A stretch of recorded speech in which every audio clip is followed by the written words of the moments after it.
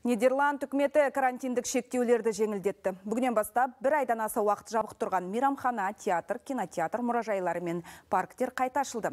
Қоғамдық мекемелер таңғы сағат 5-тен кешкі 10-ға дейін жұмыс істейді. Спорттық шаралар да бұдан былай көрерменнің қатысуымен өтеді. Тұрғындар тамақтану орындарына мәдени ошақтарға ковид сертификатпен ғана кіргізіледі. 13 жастан асқан азаматтардың барлығы медициналық бетперде тағуға міндетті.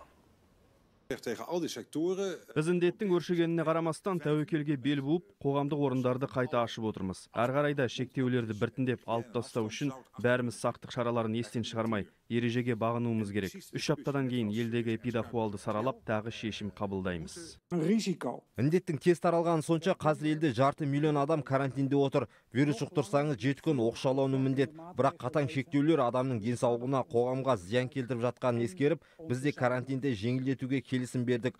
Ғалымдардың омикрон жұқтырғандардың ауруханаға түсу ықтималдығы төмен деген қорытындысы көңілімізге медеу болып тұр.